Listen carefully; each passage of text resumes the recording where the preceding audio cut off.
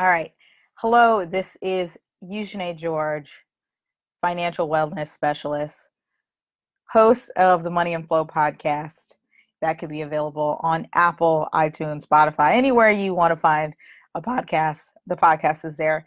Today, we're going to be talking during this Financial Wellness Wednesday about something that has been bothering me for the past couple of years. And it's also been a huge aha moment for how I want to run my business, I want to run my personal life and why it's so important to focus on these certain key aspects. So, have you ever thought to yourself, "Oh, I'm a really high achieving person. I I've gone to school, I've gotten my graduate degrees, I've started my own business." Most of the time, all of these high achieving people that focus on their business, they focus on their career, a lot of us typically forget our our why, our little why. Like why are we doing this?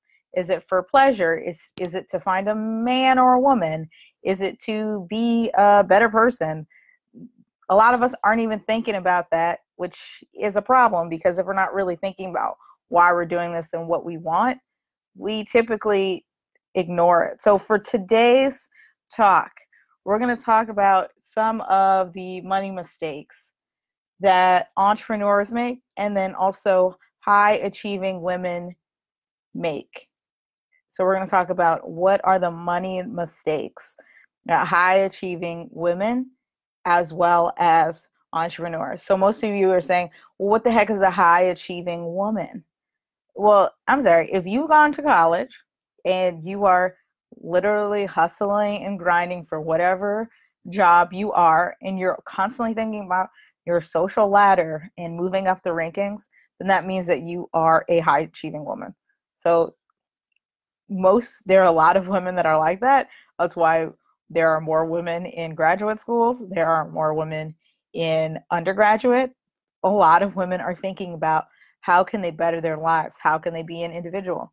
If you're an entrepreneur, that must mean that you have started a business. You have a sole proprietorship or you have an LLC.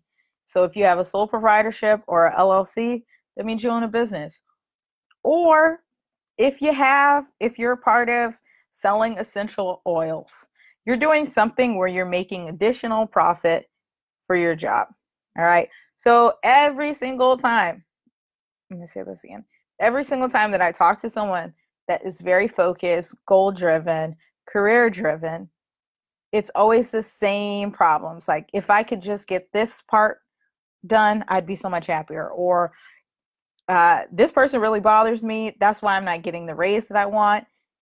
Or unfortunately, a lot of people say, because of my ethnicity, this is why I'm not succeeding. And I am going to be honest, I was one of the people that did that and i think it was a lot of it was because i forgot what my why was. So i thought my why was okay i'm going to help women understand getting a crisis or i'm going to help millennials understand their money. But the truth is is that i wanted to provide tools for people and resources for people so that if they ever get stuck in a crisis they will know where to turn that's like my big why. That's like what I'm really hoping that I do without in the world.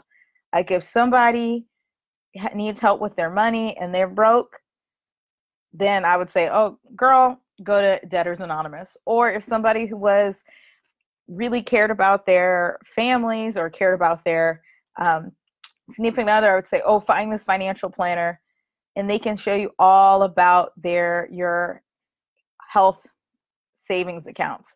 So learning about all of that, that was that's like my big why. Well, my little why, which is really, really egotistical or selfish, is I want to travel. And so I realized that one of the things that I didn't do when I started a business was travel. So I purchased, but right before I got, or right before I quit my uh, a job, I said, okay, I'm going to start this business. But before I start it, I want to make sure that I'm traveling more. I want to make sure that as I'm traveling more, I'm going to be able to meet new people. I'm going to be able to help more people. So I bought a ticket to Italy. No, I didn't go to Italy that time. I went to Istanbul. I went to Paris, and then I also went to London. And I did this whole big trip, and I was like, okay, here's the trip. This is what I want to do for the rest of my life. Like, I want to take off. I want to travel. I want to be able to go wherever I want to go, and I want my business to take me to where it needs to go.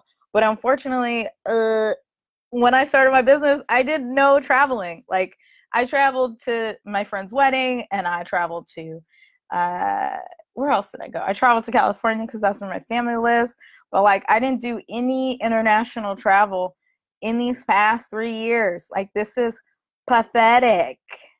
How you gonna start a business and you don't even you forget what your why is? Like, how are you gonna start a business and you forget, oh, this is the thing that's gonna fuel me? And that really made me angry and that pissed me off. And that's why I went to some woo woo person. I was like, look, something's going on spiritually because I'm not doing the thing that I'm supposed to be doing when I started a business. Uh, and it's probably the same for a lot of people that are high achievers. They go, like, let's say some of them become principals. They go to become a principal, and guess what happens? They make a lot more money and they're still focused on the work. And when they focus on the work, they're not thinking about how could they help other people? How could they or actually they're thinking about how they can help other people they're not thinking about how they can help themselves all right so today during my paper writing because i am going to school to get my business degree or mba or whatever uh, one of the things that constantly what i thought about and i read about that really was in the back of my mind is there was this question that they asked and it said uh, how can, if you focused on your money or let's say if you focused on your organization you ask yourself which component have you been focusing on the most? Or like what have you been focusing on with your money your career? What have you been focusing on the most? So a lot of people will say their career. Some people say their health. Their entire focus is on their health. A lot of people's focus i know for a lot of women are their families. They will put their family first and then they forget the people that they they're supposed to help which is themselves. So they put all their focus in helping all these other people which freaking sucks because all you're doing is draining your own energy because you're not doing your own self-care. So once i started i asked myself okay Eugenie, what is the actual question or what is the actual thing that i'm spending my most the most time in? And the thing that I was spending the most time in was my career. I put all this focus into career and I pretty much isolated a whole bunch of people. And I would turn down contracts because I would say, oh, you know, this is not about the, like, this is not really about the work. And I forgot my why. I, I turned down money Okay, how is someone trying to be a financial certified financial planner and I turned down money because I was like, this is not focused on the real why, which is helping people. And it's like, no, boo boo. The focus is you getting money to so you can go to Montreal too. Like, why are you not focusing on the thing that makes you you? Why are you not focusing on skiing? Why are you not focusing on hanging out with friends? Why are you not focusing on meeting new people? That that's my why. So once I looked at that, like the component of my what am I spending my most time on is my career. Like I pretty much spend eight hour eight to nine hours a day focused on the career, focusing on financial coaching, focusing on an MBA, focus on consulting, like all of these pieces I'm focusing on. But it's like, uh, hello, you have a man and you have a man with children. So you're like, now I'm around a six year old and 12 year old. And how come I never even thought about including them into the traveling? Like, why are you not thinking about all of these factors? So, once I thought about that problem of what was the component that I was spending my most time on, I said, uh, how can I change my focus to affect my life? So, one thing I don't want to talk about, but I have to talk about is that in the past month and a half, I've gained a lot of weight. And the reason why I gained a lot of weight was because uh, I was sad. Like I didn't know what was happening. I, I didn't know why I was angry, but I ended up gaining all this weight. I gained like 10 pounds. And I think the problem was I went from weight training to not weight training and like not paying attention to my health at all. And like everything dropped from that experience. So not only did everything drop from that experience, I like isolated myself from friends. I didn't talk to my family that much about what the problems were. And because I didn't talk about what the problems were, uh, guess what? I ended up losing more money. I had to turn down contracts. And thank God, thank God, Pamela, um, she does brunch, brunch and budgets. She's a, a uh, she has a podcast, podcast called Brunch and Budgets. I talked to her and she was like, "What is your what the heck's going on? Like this is not your normal self. This isn't who you are. Like what the heck?" And she called me personally and she's like, "This is not who you are. Why are how come your demeanor has completely changed?" And so from that experience, I was like, "Okay, I really need to find some someone who is going to see my there's my the dog is barking. Sorry about that. But like, how can I put my focus on the thing that matters the most. I don't know what the heck. I have no freaking clue what was happening. So that's what I did. And I've been doing that. I've been doing uh literally any type of Oprah woo-woo thing. I've been doing it. And I've been looking at my numbers and I've been getting very clear with my numbers and I've been put doing the math to see how much it's going to cost for me to go on these trips. I even sent an email to my friend. I said, "Hey, when are we going to plan this trip to Alaska? So she said she didn't want to go to Alaska. And I was like, okay. so we're not going to Alaska, but I made it a point to actually reach out to my friends and travel. Like, uh, how come I'm not doing the thing that I love? So I wrote out these whole takeaways, all of these pieces to help you understand like how can I break from overachieving and my process of overachieving doesn't match my values my process of overachieving doesn't help me save money or invest more money.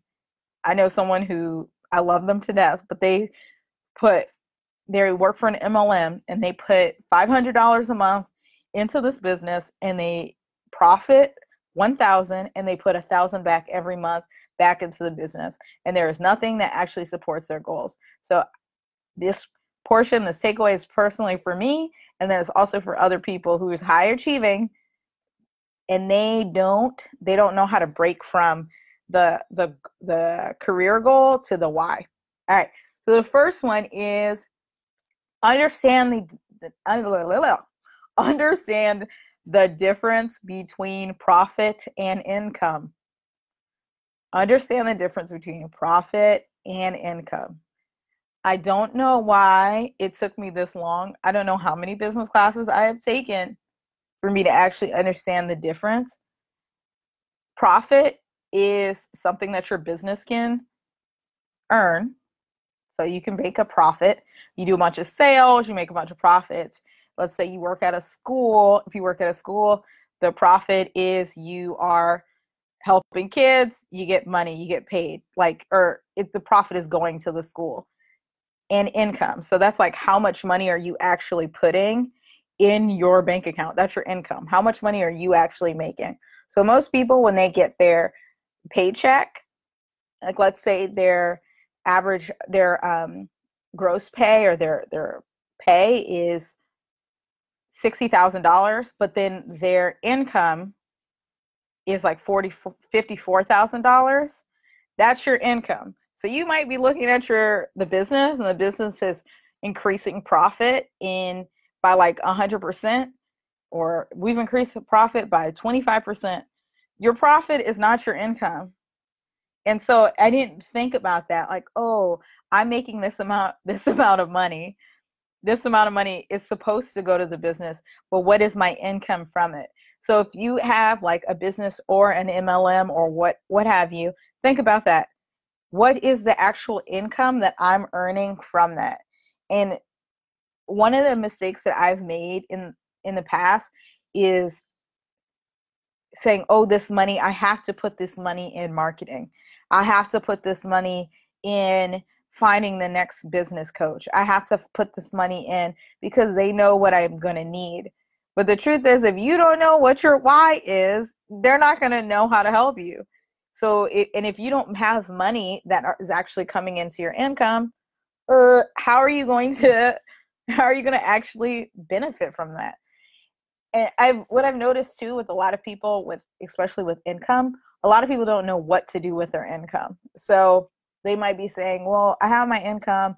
I don't really like budgeting. So I just kind of throw the budget away. I don't really focus on, I really just don't focus on my money because I know that my career is soaring. But like if your business fails, if you lose your job, if you if you get sick and you have no income and you have no disability insurance, that's really going to affect your high achievement. So I um I didn't realize that that was actually a problem because I wasn't thinking about my why and I wasn't thinking about my income. I was just focused on the profitability. And that's what a lot of entrepreneurs do too. They'll say, I have a six figure business, I have a seven figure business. In my business, I made this amount of money, and that's the profit. Yeah, that's a profit. But then your income, what did you put in it? Did you put your money in betterment? Did you put your money somewhere that where you needed to be? Like how come your pro- your profit is making money, your business is making money, but you're not benefiting from it. So what the heck why are you doing it? So same if you're like if you're teaching or if you are a receptionist, your profit, you you're helping this business do really well by doing great work.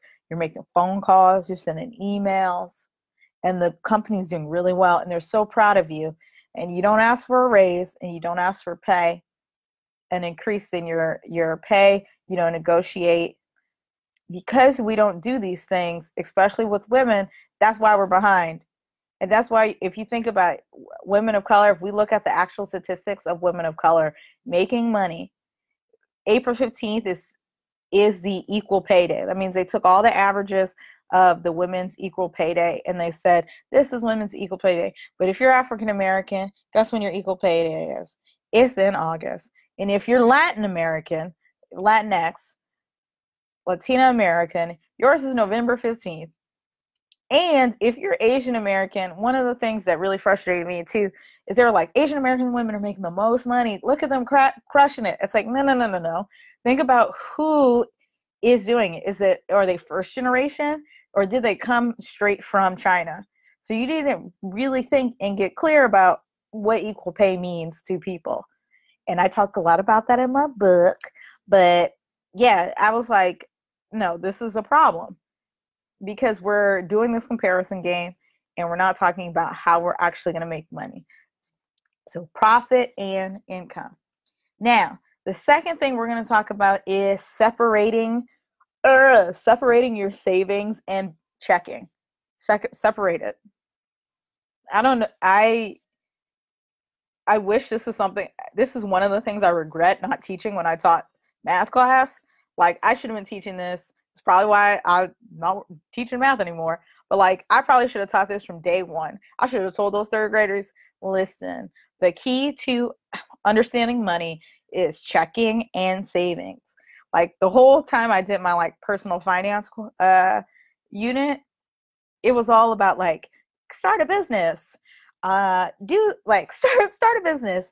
Do uh take i forgot what it was. I was like start a business take out your um tell your parents to start you a, a fund a savings fund. But i didn't un- teach people why or how important it is to separate your your savings and checkings account. So if you have a business you have to strategically take out your accounts and make a business account, a business checking, and a business savings. And if anything that you're doing with your business, let's say you're going to get a cup of coffee, let's say you're buying pieces of paper, you have to use your business checking account. Do not use your personal one if you're going to use it for your business. See how we talked about like profit versus income? Your company is pro- profiting, but you're losing all the income that you made. So that's why we're all 70% of Americans are living paycheck to paycheck. What do you do with that checkings and savings? Well, it's up to you. A lot of people say save three to six months of savings, but I think that's really degrading because I think what a lot of people do, especially when you tell people they need a savings account or an emergency account, people are so rude. Like people don't understand. Yes, ch- yeah, check your your savings and checking for sure. Uh, people don't understand how much money is built into trauma, how much money is built into uh, our our families.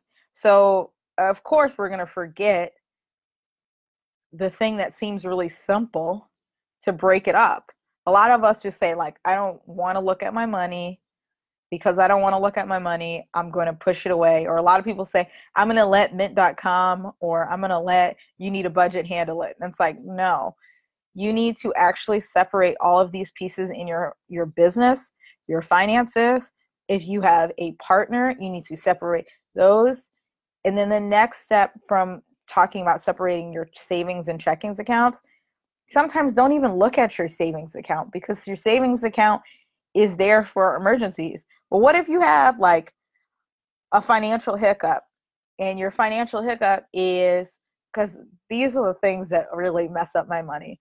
Your financial hiccup is like you get a flat tire, or your financial hiccup is um, I got a good example. So one of my friends, uh, I had to pick up one of my friends' kids from school, but they needed like all this extra they needed something and they asked me to pay them back and my budget was super strict. I was like no. I said no. And i said you know what? I really should just use my wtf fund which is separate from my emergency fund which is separate from my checkings account and give that that kid money and then i'll get the money back. So like actually think about those pieces what the wtf fund and you can actually label it on any bank account like what is the problem like how can i save myself out of this situation? And they, i think it's like once every quarter people deal with it more than uh, one or two or the financial hiccups. I think yeah i think it's one one time out of every quarter we have financial hiccups. And it can be as simple as running out a lot of a lot of clothes or you gain weight and you have to buy new clothes like that is a wtf fun. So think about that. Now, uh, the last two, they're going to be really simple. So let me recap. So, one, understand the difference between profit and income. Two, separate savings and checking account. Like actually save it, check it. It doesn't cost that much money to do that. Sometimes it costs $25 to separate it. Uh, and three is schedule one time a week to look at your money. At least just start like after this conversation, go on Wells Fargo or whatever you need to go on. Look at your money. I'm about to do it right after this because I always schedule my money dates directly underneath uh, these conversations. So look at your money. And it's sometimes not fun at all. So look at it and see where you are. Now, for some people, they look at it every single every single time. And because they look at their money every single day, all the time, they're more aware of it. I personally write down all of my money. So let me find, but, but, but, let me find mine. Because I typically write all my money down. Um, and I have a business and a budget. And I use Mint. Uh, no, I actually use You Need a Budget now. So I use You Need a Budget. But for my my day to day, I'm gonna block my stuff my my day to day, I would I just write it out every place that I go. I just write out my budget. So I actually am writing. It's old time, old school. This is how much money I spent. Sometimes I forget, but the point is is that I write out my budget and I make it look cute with whatever this little pig thing is. I got it from Pinterest and I just write it out. The easiest thing you can do to track your money is just write them out. Um, but yeah, just set up that that day where you look at your money. And if you need a lot of help, like let's say you have no money and you can't even afford, you say you can't even afford bread, you can't even afford air. There are a couple of places that can help you. There's Debtors Anonymous, there's Under Earners Anonymous. You can just look those up. Both of those places, even if you're making six figures, 12 step programs, let me tell you, people don't talk about this, but 12 step programs will help you realize where your money's going wrong. Even if you're going on social media anonymous, which I found out is a thing, being on social media all the time can drain your money. So start from there. Lastly, oh my gosh, lastly, is do not do this by yourself. I am getting very annoyed by my millennial friends that are consistently asking other people for not asking anyone for help and they read something on money.com or they read something on a blog and they incorporated in it and they didn't really ask for help. And i i did dave ramsey. And let me tell you when i did dave ramsey i already had money saved and i was paying off my debt. I was doing all of that but because i wasn't investing in anything i didn't even have a betterment account because i wasn't investing in anything like and I wasn't asking anyone for help. So I was doing this thing. I was in this program. And because I was in this program, it just looked like I was doing the right thing. But I wasn't I wasn't investing in myself. I wasn't thinking about, okay, how can I pay off my debt faster? I was like, oh, I figured it out. I know it. And so I shouldn't ask for help. Right? And then you find out, come to find out, I had it didn't if I talked to someone about my student loan debt, I could have been I could have finished paying off my student loan debt within if I really think do the math within 6 months or 6 to 7 months. I could have just took an extra job. This is why I was TJ. I could have just took an extra job, hustled and put all that money into paying it off because when I actually did pay off my undergrad student loans, it didn't even take me long, but I could have asked someone. And then finally I talked to uh, the student loan doctor and she's everywhere too. I talked to Sue Hunter, and she was like, "You don't need my help," and I just forgot of looking at direct lo- direct loans. So ask somebody for help. They call that a financial BFF. If you need prob you have problems with your taxes and you're still trying to TurboTax, H and R Block Tax. I'm kind of hating on them right now too. Like, uh, find a CPA there are tons. You can ask me for CPAs. I know at least eight of them. So think about that. What if one of your friends is actually really good at money? Is the the saver? Is I have a friend Marie. Uh, she when I used to live with her, this girl never spent any money. We were both sharing a room, and we were spending like three hundred bucks a month, living in Berkeley in this really really terrible house and she told me she had already she had already saved a certain amount of money so that she can travel. She had already saved all this money so that she could uh, figure out the next part of her life.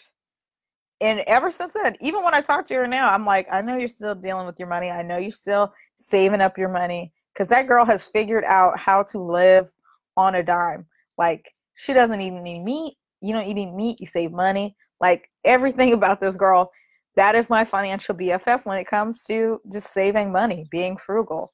So find that financial BFF. If you need a health, uh, someone to help you with your health, find a personal trainer. If the personal trainer is too much, find your friend who is actually good at working out. If I didn't work out with my friend Jennifer, my life probably would be really different now. I would work out with her at least twice a week. And that dramatically changed myself and how I viewed weight training, how I viewed anything that had to do with bettering myself. I spent the time and money. And because of that, I ended up saving more money. I didn't even have to go to a personal trainer at that time. All I needed to do was work out with someone else to figure out the problems. So, y'all, I know, nope, not that many people want to hear this because it is financial wellness When they, but whenever people talk about money, uh, everyone gets stressed out. So, one of the closest takeaways, the first takeaway that you should do is just literally look at your bank account after this conversation. The second, second or third thing that you could do, I have a podcast. It is called the Money and Flow Podcast. The Money and Flow Podcast talks a lot about people's money stories. We talk about the true cost of sex. We talk about the uh, Latinx money story. We, we try to figure out how can we help women and women of color with their their health and wealth and how that translates, right? I know tons of y'all are some Whole Foods folks and not understanding that you could go to Thrive Market and get the same Whole Food stuff for half the price. So that's what we talk about on the podcast. That's everywhere. You can type in money and flow because I really believe that we should take the hustle out of living and enjoy the money and flow part. The last thing is I am actually working on a program or a project where I'm dealing and working with successful entrepreneurs and then also working with high achieving women. And because I'm dealing with these high stressful people, these type A people, we have a program that talks about money, but it's more about talking about systems because that's my specialty is organization. I can recondo your house. I could minimalize your house, whatever you need. So uh, I will post more of that in future conversations. So that's it. Uh, profit versus income, separate savings and business. Schedule time once a week. Find somebody to talk to about your money. And then fourth, find that financial BFF. Just you could start small or move into a bigger thing. But the truth is, is that I care about you. And most of us aren't talking about our money to our friends except when we lose money. So that's it. All right. Take care. Yeah.